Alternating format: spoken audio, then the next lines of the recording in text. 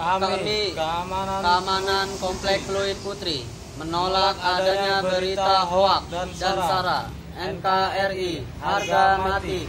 Hidup Indonesia merdeka.